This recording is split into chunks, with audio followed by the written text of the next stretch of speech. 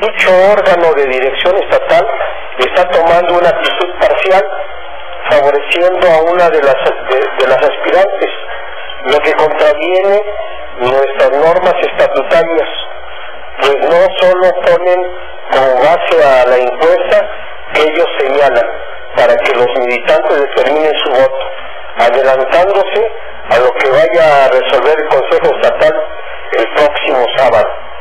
Pues dan por que el método que va a ser aprobado es el de la convención electoral, sino que además dan como un hecho que Minerva Hernández Ramos será la candidata del PRD al gobierno del Estado.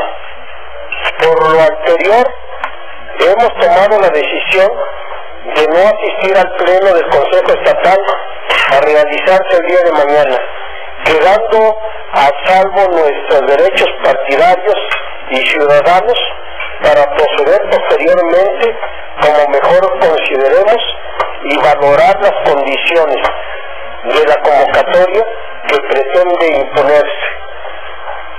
Eso es lo que queríamos comentar, comentarles, señores de los medios, puesto que en nuestro partido se trata de cometer algunas situaciones que consideramos vulneran nuestros derechos políticos electorales.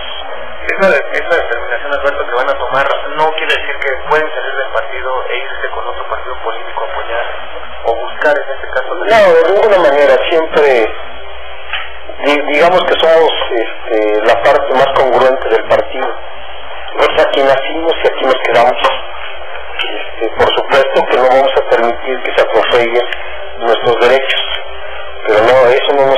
a pensar siquiera en a algún otro partido o apoyar a algún otro aspirante.